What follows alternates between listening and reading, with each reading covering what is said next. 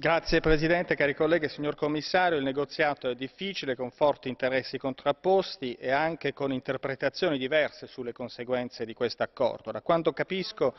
Attuale, lo stadio attuale del negoziato prevede una disparità di trattamento tra indicazioni geografiche e marchi a favore di quest'ultimi, con la intangibilità, in spregio all'articolo 22 dell'accordo TRIPS, dei marchi che utilizzano denominazioni tutelate da indicazioni geografiche, quali ad esempio Parmesan, ma è soltanto uno dei tanti casi possibili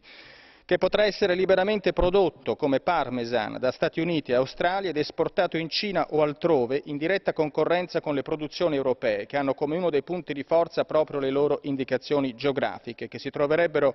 a sostenere una concorrenza sleale senza alcuna efficace protezione da parte dell'ACTA. Vorrei un chiarimento sotto questo profilo. Ma parmesan vuol dire di Parma, non australiano o USA, ed è così per ogni indicazione geografica europea. Facciamo attenzione perché se nella globalizzazione del XXI secolo tra qualche anno non avremo più le nostre indicazioni geografiche sarà anche per le scelte sbagliate di oggi e perderemo un pezzo enorme della nostra identità. Sotto questo profilo, se tutto ciò fosse permesso dall'ACTA, l'accordo è inaccettabile. Poi c'è l'aspetto di Internet, già ricordato, l'Europa è a favore di una società della conoscenza diffusa, di un sapere aperto a tutti e l'ACTA non deve costituire in nessun modo una restrizione della libertà di accesso a Internet. Molto su questo è stato ottenuto, il commissario ha dato delle rassicurazioni importanti, ma sarebbe inaccettabile che l'acquis communautaire sia scalfito come ancora appare dalla possibilità delle ingiunzioni giudiziarie previste dall'articolo 2